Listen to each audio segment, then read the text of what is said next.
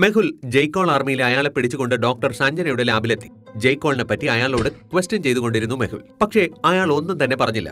അപ്പോൾ ഭൂൽഫുലയ സയന്റിസ്റ്റ് പറഞ്ഞു മെഹുൽ എന്റെ ലാബിൽ ഒരു മരുന്നുണ്ട്. അത് കഴിപ്പിച്ചാൽ ഇയാൾ തത്ത പറയുന്നത് പോലെ എല്ലാം പറയും. അപ്പോൾ ഡോക്ടർ സഞ്ജന നിലവിളിച്ചുകൊണ്ട് പറഞ്ഞു ആന്റിഡോസ് തയ്യാറാക്കി. ഇൻട്രസ്റ്റിംഗ് വെരി വെരി ഇൻട്രസ്റ്റിംഗ് നമുക്കിനി ഈ നഗരത്തെ രക്ഷപ്പെടുത്താം.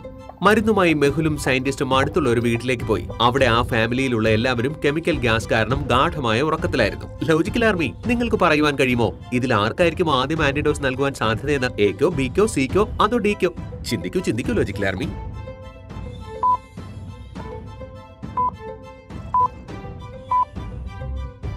ഭൂൽഭുലയ സയന്റിസ്റ്റ് ആ വയസ്സായ ആൾക്കായിരിക്കും ആദ്യം മരുന്ന് നൽകുക. കാരണം ബാക്കി എല്ലാവരും ചെറുപ്പക്കാരാണ്. അവരിൽ കെമിക്കൽ ഗ്യാസിന്റെ എഫക്റ്റ് വളരെ കുറച്ചേ ഉണ്ടാവൂ. വയസ്സായ ആളുകൾക്ക് സ്റ്റാമിന കുറവായിരിക്കും. അതിനാൽ കെമിക്കൽ ഗ്യാസിന്റെ എഫക്റ്റ് അവരിൽ വളരെ കൂടുതലുമായിരിക്കും. നിങ്ങൾ കണ്ടിരിക്കും കോവിഡ് വാക്സിൻ ആദ്യം വയസ്സായവർക്കാണ് നൽകിയത്. സയന്റിസ്റ്റ് ആ വയസ്സായ മനുഷ്യന് ആന്റിഡോസ് നൽകി. അഞ്ചു മിനിറ്റുകൾക്ക് ശേഷം അയാൾ ഉണരുകയും ചെയ്തു. എനിക്ക് എന്താ പറ്റിയത്? എന്റെ കുട്ടികൾ ഉറങ്ങുന്നത് ഈ പകൽ സമയത്തോ? ഈ സമയം അവർ ഓഫീസിലുണ്ടാവേണ്ടതാണല്ലോ. അങ്കിൾ വിഷമിക്കണ്ട. നിങ്ങളുടെ എല്ലാം ബോധം പോയിരുന്നു. എല്ലാവരുടെയും പ്രശ്നങ്ങൾ നമുക്ക് പരിഹരിക്കാം. അതുപോലെ അതിനുശേഷം സയന്റിസ്റ്റും മെഹുലും കൂടി തിരിച്ച് ഡോക്ടർ സഞ്ജനയുടെ ലാബിലെത്തി. ലാബിന്റെ ഡോർ ഒരു ലോജിക്കൽ പാസ്വേഡിന് അൺലോക്ക് ആയിരുന്നു ലോജിക്കൽ ആർമി നിങ്ങൾക്ക് പറയുവാൻ കഴിയുമോ? ആ ക്വസ്റ്റ്യൻ മാർക്കിന്റെ സ്ഥലത്തെ ആൻസർ എന്താണെന്ന്? ചിന്തിക്കൂ ചിന്തിക്കൂ ലോജിക്കൽ ആർമി.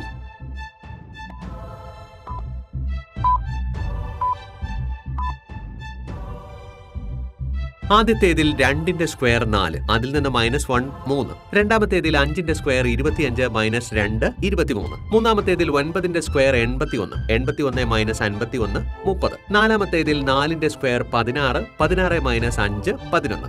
അപ്പോൾ അവിടുത്തെ കോഡ് പതിനൊന്ന്. മെഹുൽ ആ കോഡ് കണ്ടുപിടിച്ച് പതിനൊന്ന് എന്ന നമ്പറിൽ ക്ലിക്ക് ചെയ്തപ്പോൾ ഡോർ ഓപ്പൺ ആയി മെഹുലും സയന്റിസ്റ്റും കൂടി അകത്തേക്കും കടന്നു. Congratulation doctor Sanjana. നമ്മുടെ ആന്റിഡോസ് വിജയിച്ചു. അപ്പോൾ ഡോക്ടർ സഞ്ജന പറഞ്ഞു ജയ്ക്കോളിന്റെ ഡി എൻ എ കൊണ്ട് ഒരു ആന്റിഡോസ് ഉണ്ടാക്കുവാൻ കഴിഞ്ഞു. പക്ഷേ ഈ നഗരത്തിലുള്ള എല്ലാവരെയും രക്ഷിക്കണമെങ്കിൽ നൂറ് എം എൽ ജയ്ക്കോളിന്റെ ബ്ലഡ് ആവശ്യമുണ്ട്. ഇൻട്രസ്റ്റിംഗ് വെരി വെരി ഇൻട്രസ്റ്റിംഗ് അതിനർത്ഥം ഞാൻ ജയ്ക്കോളിന്റെ ബ്ലഡ് കൊണ്ടുവന്നാലേ ഈ നഗരത്തെ രക്ഷിക്കാൻ കഴിയുമെന്നാണ് ഇതിലെന്താണ് വലിയ കാര്യം സർ നമ്മൾ ജയ്ക്കോളിന്റെ വീട്ടിലെത്തി അയാളെ ബോധം കെടുത്തി ആവശ്യത്തിന് ബ്ലഡ് ശേഖരിക്കും. എന്നിട്ട് അതുമായി ഇവിടേക്ക് തിരിച്ചു വരും. ഇത് തമാശ പറയാനുള്ള സമയമല്ല. നമ്മൾ എങ്ങനെ ജയ്ക്കോളിന്റെ വീട് കണ്ടുപിടിക്കും? Logical army. നിങ്ങളുടെ അടുത്ത് ജയ്ക്കോളിന്റെ വീട് കണ്ടുപിടിക്കുവാനുള്ള എന്തെങ്കിലും ഐഡിയ ഉണ്ടോ? ചിന്തിക്കൂ ചിന്തിക്കൂ.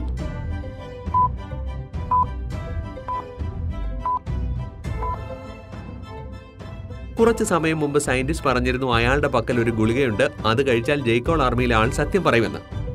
അയാളെ കൊണ്ട് സത്യം പറയിപ്പിച്ച് ജയ്ക്കോൾ ആർമിയുടെ ഡ്രസ്സും വാങ്ങിയിട്ട് മെഹുലിന് ജയ്ക്കോളിനെ പിടിക്കാവുന്നതാണ്. ആലിയ നീ ഡോക്ടർ സഞ്ജനയോടൊപ്പം നിൽക്ക്. അതിനുശേഷം മെഹുൽ തന്റെ മുഴുവൻ മെഹുൽ ആർമിയെയും വിളിച്ച് ഡോക്ടർ സഞ്ജനയുടെ വീടിന്റെ വെളിയിൽ സെക്യൂരിറ്റിക്കായി നിർത്തി. എന്നിട്ട് സയന്റിസ്റ്റിന്റെ വീട്ടിലേക്ക് തിരിച്ചു. അവർക്ക് പെട്ടെന്ന് സയന്റിസ്റ്റിന്റെ ലാബിലെത്തുവാനായി വളരെ സ്പീഡിലാണ് മെഹുൽ കാർ ഓടിച്ചിരുന്നത്. ഭൂൽഭുലയ സയന്റിസ്റ്റ് തന്റെ വീട്ടിലേക്ക് എത്തുവാനായി ഒരു വഴികാട്ടി ഉണ്ടാക്കി വെച്ചിരുന്നു. ലോജിക്കൽ ആർമി നിങ്ങൾക്ക് പറയുവാൻ കഴിയുമോ? എ ബി സിയിൽ ഏത് വഴിയാണ് സയന്റിസ്റ്റിന്റെ വീട്ടിലേക്ക് എത്തുന്നതെന്ന്? ചിന്തിക്കും ചിന്തിക്കൂ. എന്നിട്ട് നിങ്ങളുടെ ആൻസർ കമന്റായി പറയൂ.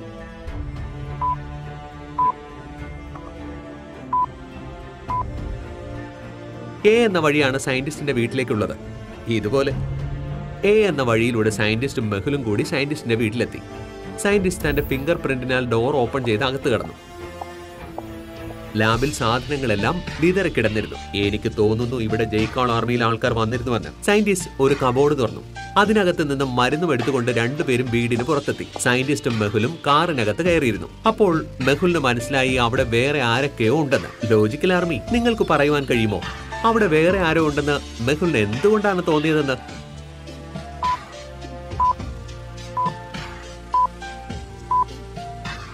സയന്റിസ്റ്റിന്റെ വീടിനടുത്തുള്ള മരത്തിന് താഴെ നോക്കൂ. അവിടെ കുറച്ച് വെള്ളമുണ്ട്. അതിൽ ആരുടെയോ നിഴൽ വീഴുന്നുണ്ട്. അതായത് മരത്തിന് മുകളിൽ ആരോ ഒളിച്ചിരിപ്പുണ്ട്. ജയ്ക്കോളിന്റെ ആൾക്കാർ ഇവിടെ നമ്മൾ വരുമെന്ന് അറിഞ്ഞു വന്നിട്ടുണ്ട്. കുറച്ചധികം ആൾക്കാരുണ്ടെന്ന്. ചുറ്റും ശ്രദ്ധിച്ചു നോക്കിയ ശേഷം മെഹുലിന് മനസ്സിലായി ഇവിടെ കുറച്ച് പേരുണ്ടെന്ന്. എന്തുകൊണ്ടാണ് ലോജിക്കൽ ആർമി മെഹുലിന് ഇവിടെ കുറച്ചധികം പേരുണ്ടെന്ന് തോന്നിയത്. ചിന്തിക്കൂ ചിന്തിക്കൂ ലോജിക്കൽ ആർമി